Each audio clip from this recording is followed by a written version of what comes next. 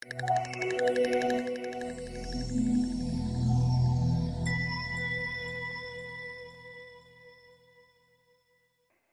Mr. Sbusiso Kanyile once more. Welcome to Siyafunda episode. This next topic that we want to tackle with you is called uh, trigonometric functions. Functions are the same, whether you do them in paper one or the paper two. The idea behind them is the same. Fortunately for trigonometry, there are only three types of graphs that we'll be dealing with. The first one is called the sine graph, sine theta. Maybe let's just call it y is equals to sine theta. The full graph, however, will, will look like uh, y is equals to a, maybe I'll have p here, sine p, then I'll have my theta. Or I can also develop it, it, it if I'm adding q. But this is how it will look like when it's actually, the, the, full uh, sine graph will look like that. But for now, I just want us to understand the mother graphs first before we move them along the x-axis or move them up and down along the y-axis. If I'm sketching the three mother graphs, for the sine graph, I will have y is equals to sine theta. Let me just give an interval of, of, of where theta is an element of between 0 and 360. For all these three graphs that I want us to sketch here, I want us to use the interval of 0 and 360 first. I call these mother graphs because these are the original graphs before they are being shifted either along the x-axis or y-axis. The next graph that we'll be sketching will be the tan graph, then the cosine graph. Now watch. If I'm going to sketch this graph, I must know my amplitude. In this particular case, this A stands for the amplitude. It is important that you must have an idea of these graphs. Number one, this is how a sine graph will look like. Generally, this is how a sine graph look like. Number two, this is how a cosine graph will look like. You must have this in your head before you go to these graphs. Number three, this is what how a tan graph will look like. Uh, that is 360. Uh, this will be 180. This will be 90 and 270. You know that this one must have an asymptote at 90 and 270. So this is how a tan graph will look like. Uh, from this side, I will only show half of it. From that side, I will show half of it. But basically, this is how a tan graph look like. The first one is a sine graph. The second one is a cosine. The third one is a, a, a, a tan graph. I want us to understand how to sketch these graphs. Um, I said to you the first thing that we need to understand is this value here, the amplitude. This one will give you a period. This one is a shift, whether we're shifting it up or down. If it is plus, it means that you take the sine graph, you push it up by whatever unit, whatever value of q. If, it, if this was minus, it means you're shifting it down. Now watch. it is important that we must also understand that this p will give us the period. It is important to note that the period of this graph the period generally, it will be uh, 360 degrees. The period of this graph is also 360 degrees, whilst the period of this one is 180 degrees. This is the period. What is the period then? A period is the is, is when you sketch your graph from the beginning up to the end. It's how you sketch that graph. In other words, from here to here, this is where the period finishes. If I can start another circle, of this graph. That's another one. But the period will be between this part to that part where I can sketch my full graph. But the period will change depending on the value of, of, of, of, the P here. Now, let's do this thing. In this particular case, I know my A. My amplitude in this particular case is 1 because there is no value there. So this is 1 sine theta. If my period, what is the amplitude? Amplitude is the highest point. From here to there is the amplitude. So this distance here must be one unit, which will be the same as this one. So this one will be minus one. So that is the amplitude. Now, if, if the value here is two, then it means that this graph will go up and turn at two, not at one, because this one is turning at one, because my amplitude in this particular case is one. Now, if I'm sketching this mother graph, I know that my amplitude is one. Number two, another important factor of this graph is the period. Look at the value that is here. That was represented by P. If there is nothing here, it means that the value there is 1. In other words, generally, the period of these graphs are 360 degrees. Now, to find this, way, if suppose if was, there was 2 here, I was going to take the, in fact, when, whenever I've got nothing here, it means I've got 1. So the actual period there will be 360 over 1, which is 360. So if I've got 2 here, I will say 360 divided by 2 and get the actual period, which is 1 8. And it has some effect on this graph. This period can either uh, enlarge the graph or squeezes it together. If the value here is a fraction, it will just enlarge it. If it is not a, if it is not a fraction, it will be uh, squeezing it together.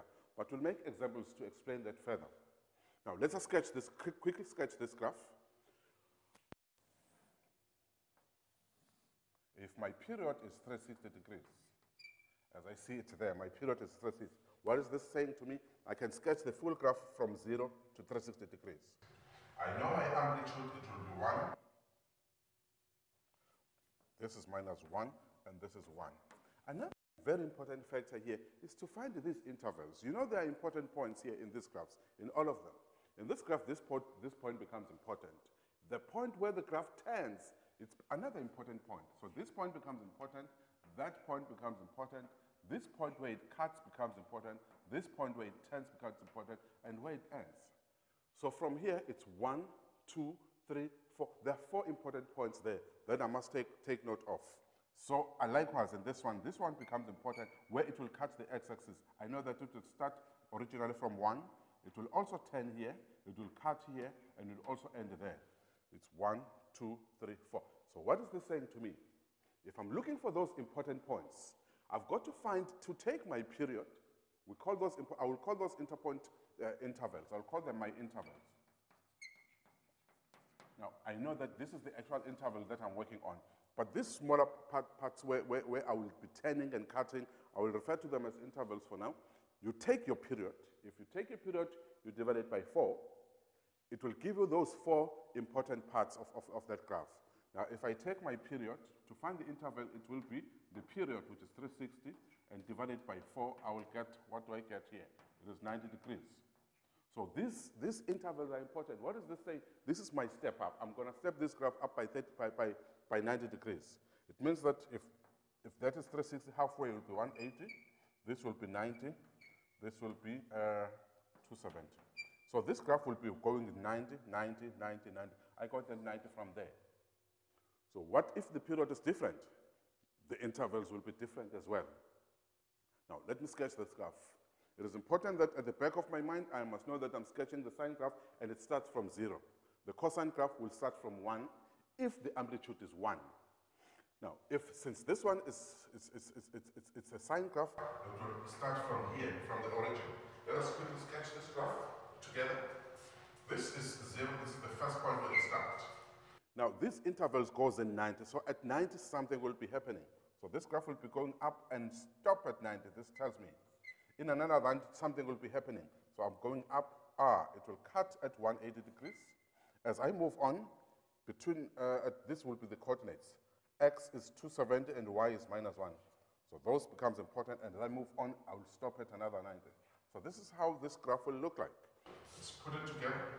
This first important point it turns, another one it cuts, another one it turns. Ah, this is the graph.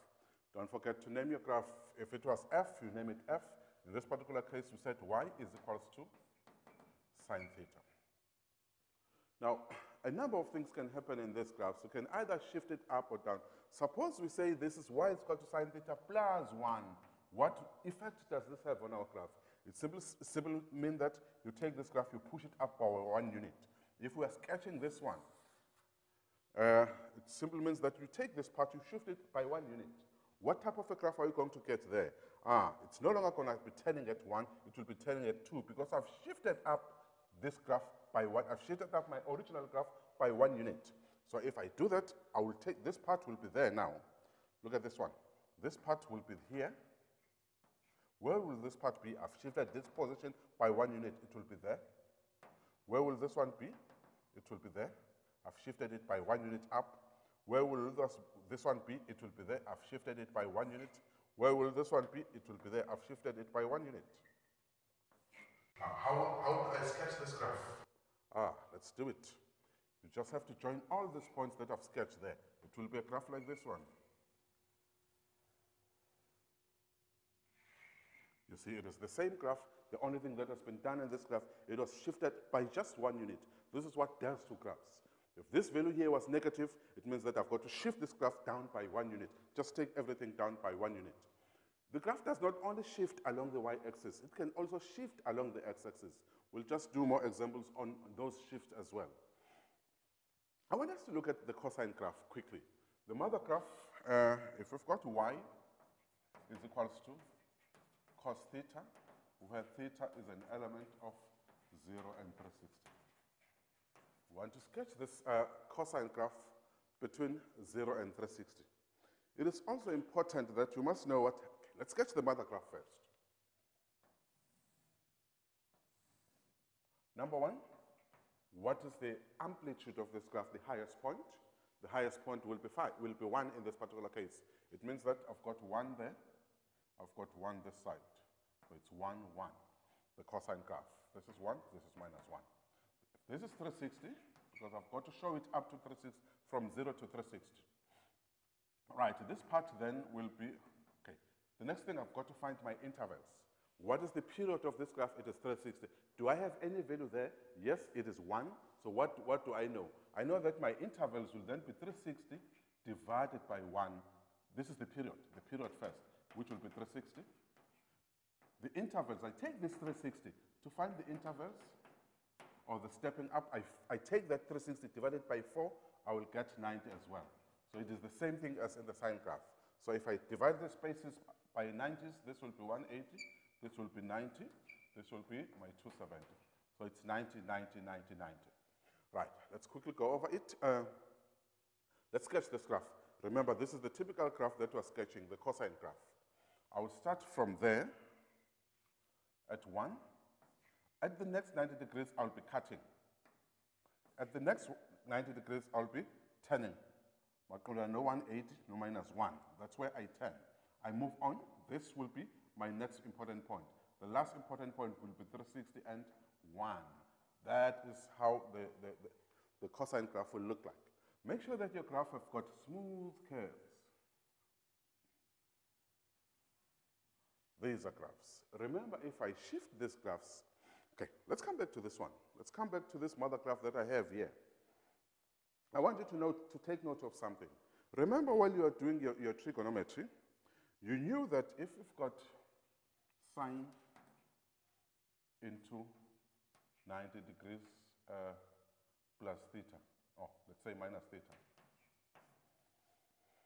If you remember reduction formula, sine into 90 minus, because we've got 90 here, the ratio will change.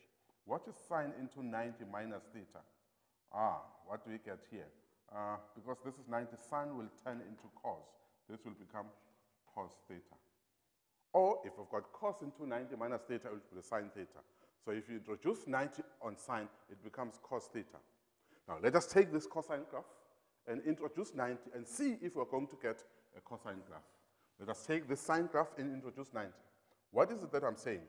I'm let us take this sine graph and shift it by 90 units. In other words, if we take it this side, we're adding 90 units. So in other words, I want us to look at the graph of y is equals to sine into 90. If I'm moving this side, it's plus, plus theta. Oh, okay. I'm just adding 90, theta plus 90 or 90 plus. If I take this graph, it will be a cosine graph. How, how will it be a cosine graph? I'm shifting this, this graph along the x-axis. I'm shifting it along the x-axis. If you shift it here, you shift it along the x-axis. If you shift it there, you're just shifting it along the y-axis. Now let's shift this graph and see what will happen. By 90 degrees. This is a shift. We're shifting it by 90 degrees. If you take this point, this point, shift it by 90 units, it will be here. So this point here will be here. Where will this point be? It will be here. We are making all these points, we are shifting all of them by 90 degrees. Where will this one be? It was at 27, shifted by 90 degrees. It will be here at 180. Where will this one be? It will be here at 270. Because there's another one that, that, that if this curve continues, that one, if you shift it, if you shift that one by 90, remember it would have been up there. It should give us a point that is somewhere here. Shift that point that, that has been there by 90, 90 units, it will give us a point that is, that, that is there at 360. Let's see what happens if we join this point. Oh, we'll have a graph like this one, like this one, like this one, like this one, like that one. Ah, so we see that if we shift the sine graph by, by 90 degrees, it will become a cosine graph. As you see, it, it is exactly the same as this one. That is why whenever you push 90 degrees into a sine, it will become a cosine graph. Thank you for now.